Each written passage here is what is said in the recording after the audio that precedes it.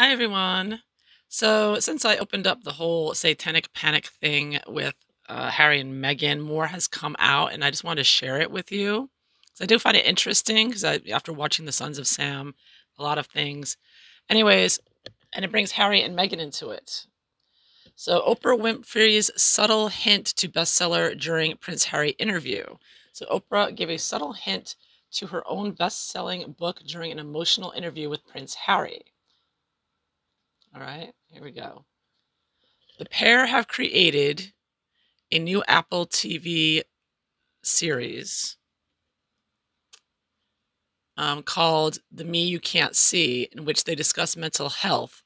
Both Harry and Oprah opened up about their personal experiences of trauma and the stigma on mental health. And at one point, Oprah uses the phrase that is the title of a book she released this year along with Dr. Bruce Perry.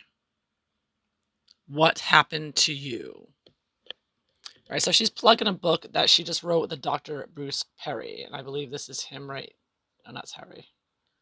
Him right here.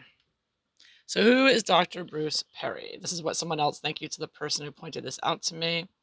He is the husband of Arlis Perry, who was in the Sons of Sam documentary she was brutally murdered in a satanic way by a satanic group uh, back in 1974, I believe it was. She was 19 year old newlywed. She was murdered on October 13th, 1974, which they said was the birthday of Aleister Crowley and John Carr, who was also a member of this cult. So basically, now some people believe that that's her. She was a very religious girl, and apparently she tried to convert some of the Satanists in her hometown in North North Dakota, which was near Minot, which was a very a hotbed of a satanic group. But anyway, some people now initially when there's a murder, the, the husband's always the first suspect, right? But this murder was really brutal. I mean, they stabbed her with an ice pick behind her head. They jammed, you know, uh, that was in, in a church and they jammed candles in her. I mean, it was really brutal. It wasn't like a murder of a husband and wife getting into a fight and, you know, losing control. This was, yeah, this was uh, satanic. So the point is, some people blamed him at first, but it wasn't. He had blood on his shirt, but it turned out he had a nosebleed. And yeah, I kind of don't believe it either because I don't think I don't think the husband did it. Put it that way. I, I just don't believe that.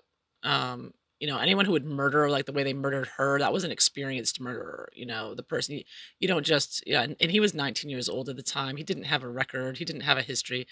Whoever did this murder it wasn't their first murder okay? This was someone who was uh, experienced murderer who had no conscience and it was brutal and uh, yeah you don't just you know suddenly out of nowhere murder someone like that unless you have a history you know?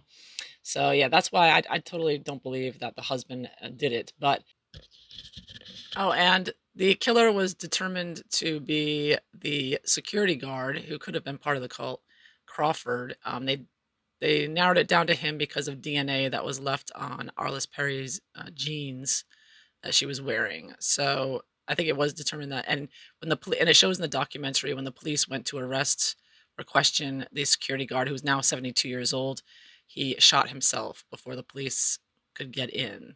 So yeah, so it looks like it was the security guard. They don't know how or why, but the security guard did have a copy of Maury Terry's book, The Ultimate Evil, which discussed this and the whole satanic cult. So found it very interesting.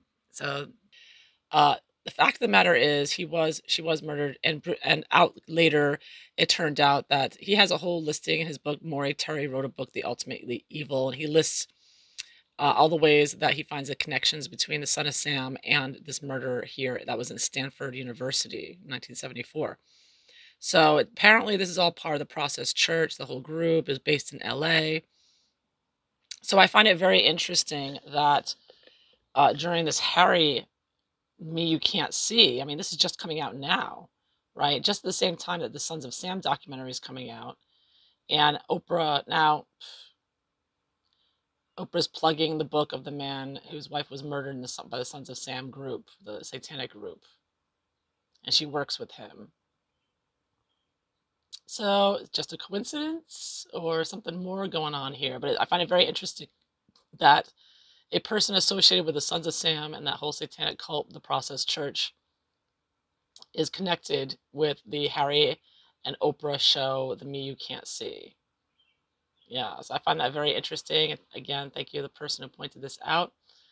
So there you have it. So in in the Apple TV program, uh, this man who is associated with the Sons of Sam is in the podcast.